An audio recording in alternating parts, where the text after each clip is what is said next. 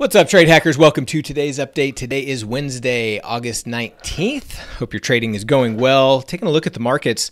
So the S&P looked like it was just going to continue this march higher. And then all of a sudden, about an hour ago, uh, time of this recording is 1:45 Central, so about 12:45 or 1.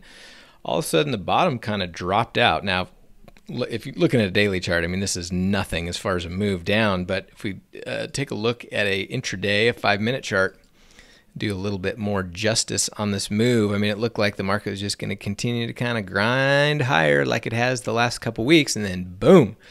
Uh, I got a little drop here. Uh, I, I, did see that uh, Federal Reserve Jerome Powell came out and said, "Hey, you know what? I think this coronavirus thing is going to weigh heavy on our economy." Like, thank you, genius. Uh, so anyway, that that's what they're saying made made this drop, but who knows? Uh, could just be a little profit taking or algos or whatever else. But anyway, it is what it is. So we'll see how the session ends. We've still got a little, little over an hour before the the cash market closes.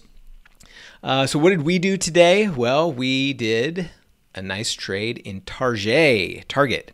Going back to a, a daily chart. So Target announced earnings this morning before the market opened and and so we have a very specific tr- uh, strategy that we teach in our earnings course, a post earnings trade. So if a stock gaps up after earnings above its expected move, so I've got this, I just kind of marked this on the chart here. That's kind of the expected move is about five and a half bucks.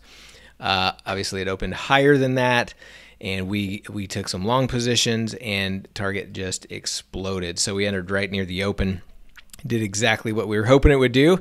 And uh, we actually got out of the trade just a couple hours later with it over a 100% return uh, on that trade. So very nice trade in Target.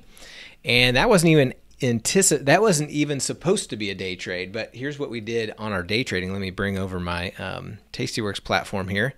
So this is what we did. So uh, Mighty 90 trades were just okay. I was actually down a little bit overall. A lot of our members were, were positive on the day, uh, but my monster trades were my pairs trades. Uh, not a monster, but my Russell Nasdaq, a couple hundred bucks there. But my monster was in gold silver. You can see I booked over 2,900 in silver, 340 in gold. So up over 3,300 for the morning. So great day of day trading.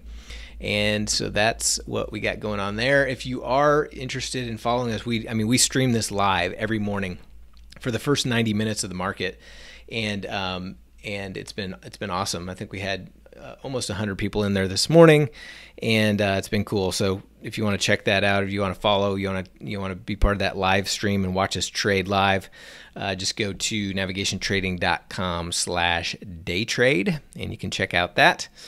Uh, so what else did we do today? Uh, we put on a couple uh, trades. One in Tesla, TSLA.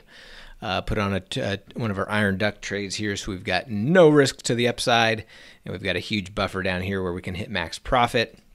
And then we've also did an earnings iron duck in Nvidia, and so kind of a similar thing. We have no risk to the upside and we've got a huge buffer all the way down to about this level where we can book max profit.